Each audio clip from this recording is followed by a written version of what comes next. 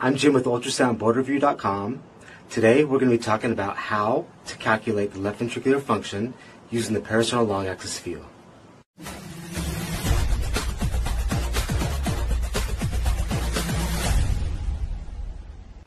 The most common reason why someone receives an echocardiogram is to assess left ventricular function. The reason for that is that it correlates with the patient's symptoms, prognosis, events, and complications in a large number of conditions. So I will illustrate how to measure the left ventricular function using this diagram here. So it is extremely important that we learn to accurately determine left ventricular function the best we can. Once you obtain your parasternal long axis view, you're going to scroll to end diastole or the frame just after the mitral valve closes or when the left ventricle is at its widest or biggest. And keep in mind your EKG should be right around your R wave, just depending on the patient. So start on the interventricular septum and you're going to measure inner to inner. So if you start on this side of the wall, you're going to end on this side of the wall. Or if you start on this side of the wall, you're going to end on this part of the wall. So let's just start right here on the inside here. And we'll measure like this, about right there. And then you're going to continue on measuring perpendicular to the long axis of the left ventricle. And you'll try to keep it as close to the mitral valve tips as you can.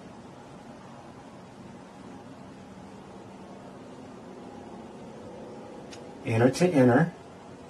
And then you'll measure your posterior wall. So from here to here. And again, you want to be as close to the mitral valve as you can. Now you're going to scroll to end systole, or when the left ventricle is at its smallest, and when the aortic valve is closed or just barely opened, depending on your lab, and correlate that with your EKG, and that should be right around the end of the T wave, right about there.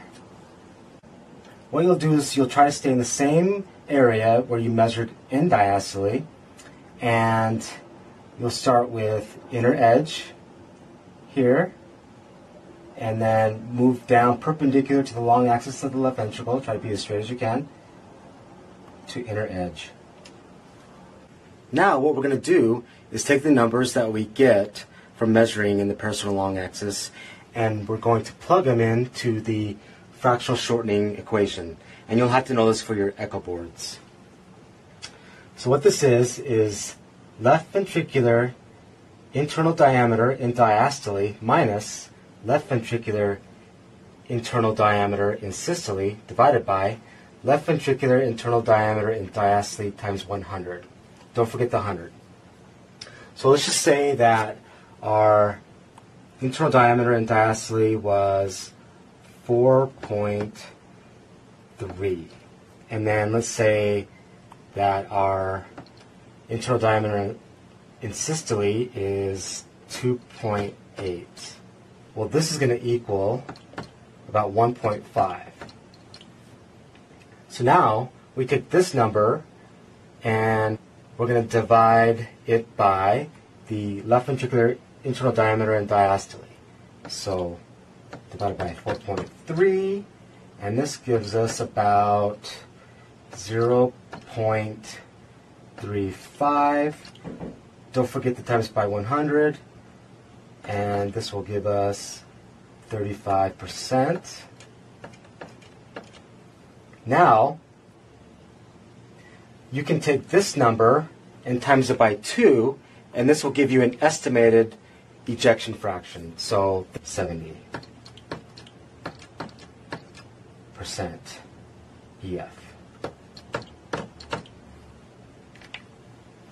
And that's how you get the ejection fraction using the parasternal long axis.